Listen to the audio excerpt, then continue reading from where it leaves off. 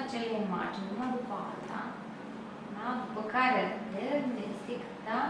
Și tu trebuie la fel să împodestești aceeași poveste, da? Folosind imaginile care au fost în masă. Bine? Și cheile memoriei.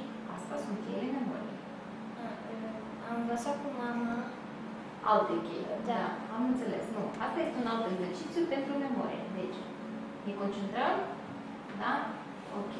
Deci, într-o pădure locuia o beberiță care avea un prieten, un el, da? Și ei toți, deci, unde e pădure? Asta ar fi chiar cred că un alt set de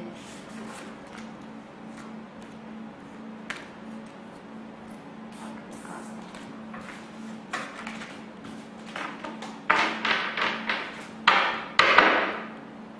Ok, bun. Deci, nu am aici, nu înțeles nimic.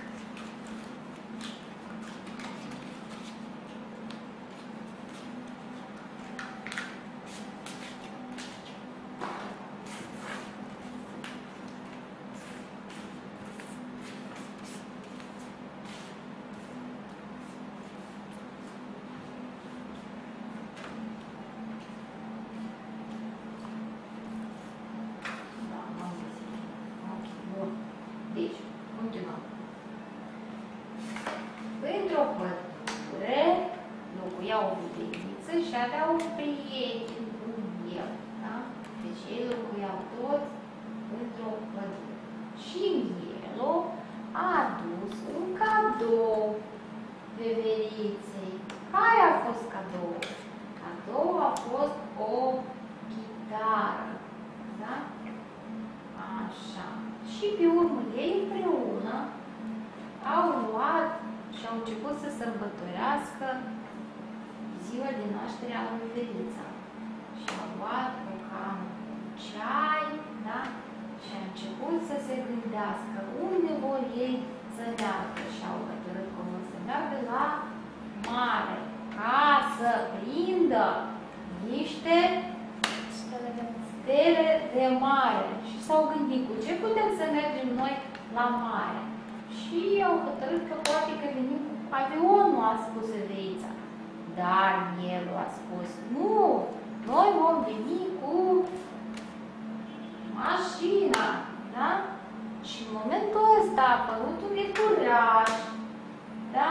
Care a dus veveriții un trandafir. Și pe urmă ei au pe toți adunați sub un copac și împreună au început să vorbească despre călătorie. Și iepurașul a spus că cel mai bine să mergem cu tren. Da? Au stat, ei au stat, au obosit și s-au gândit să meargă să doarmă în pat. Da? Au luat lumânarea, au deschis cartea și au început să citească, da? Însă iepurașul a ales un pleamă și a luat în mână, cum se numește în mână? Binoclu. Binoclu, da? Și a început să se uită în cer. Și s-a gândit și a hotărât iepurașul că toți ei vor merge la mare cel mai bine racheta. ok?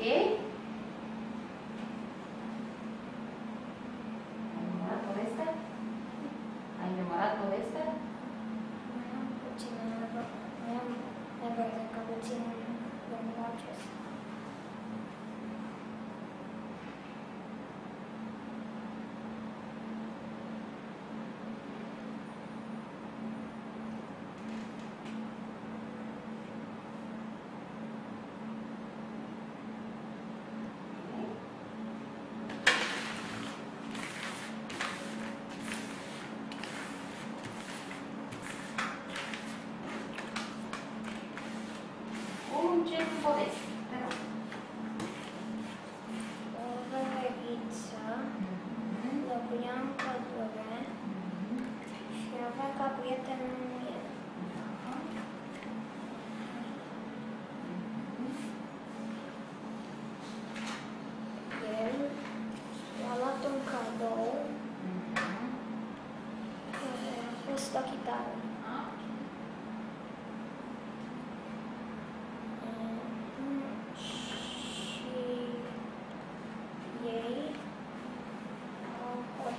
Să meargă la mare.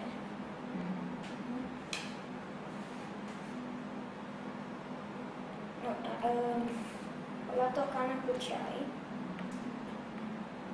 și după au hotărât să meargă la Reverița a zis să merge să meargă cu avionul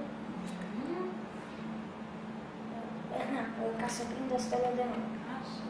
Reverița a zis să meargă cu avionul, iar cămielul a zis să meargă cu o mașină. Pe drum a apărut un iepuraș care i-a oferit o floare reveriței. Aceștia s-au adunat um, sub un copac